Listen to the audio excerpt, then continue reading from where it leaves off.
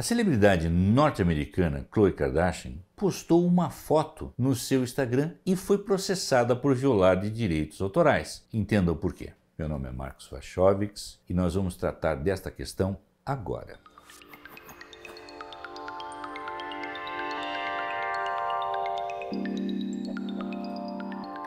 O caso da celebridade Khloe Kardashian, que publicou uma fotografia de Bella Hadid utilizando um jeans de sua marca, Good American, Khloe Kardashian acabou por ser processada por violação de direitos autorais, conforme informou o portal Mirror. Foi apenas uma simples postagem de uma celebridade. Khloe Kardashian utilizou a imagem e postou no seu Instagram um registro feito pela empresa Autophotography, porém sem a devida e necessária autorização da empresa. Com a repercussão enorme do post, a empresa Allo Photography adentrou com uma medida judicial alegando que Khloe Kardashian utilizou a imagem para a promoção de seu negócio em sua conta no Instagram, que possui nada mais, nada menos do que 200 milhões de seguidores no Instagram. Ao ser notificada, Khloe Kardashian apagou o post de seu Instagram. Porém, no entendimento da empresa Allo Photography, já era tarde demais, pois o número considerável de pessoas que havia visualizado o seu post era muito expressivo. Além da indenização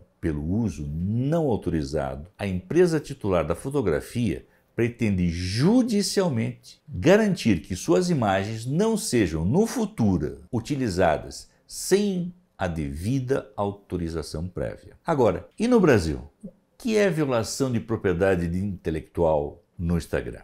Com a popularização de usuários no Brasil, mais de 110 milhões de usuários, muitos deles estão tendo seus vídeos bloqueados no Instagram por violação de direitos autorais. Entenda o porquê. Quando você utiliza e compartilha imagens, inclusive vídeos postados no seu feed, cuidado, pois se tiverem música de fundo ou ambiente, eventualmente ela poderá ser reclamada pela gravadora que detenha os direitos autorais sobre o fonograma da música. Então, como funcionam os direitos autorais no Instagram? No Brasil, a proteção dos direitos autorais está na Lei 9.610 de 98. Assim, quando um vídeo ou uma transmissão viola direitos autorais, o Instagram notifica o perfil de quem postou para que a fotografia, a música que está protegida possa ser retirada, evitando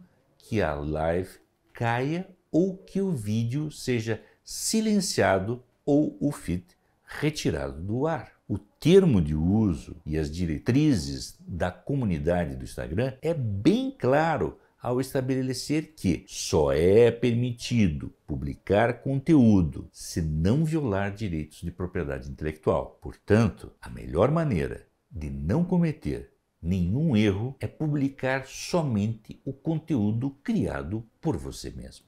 Para ficar por dentro destas e outras matérias de direito autoral, inscreva-se no nosso canal.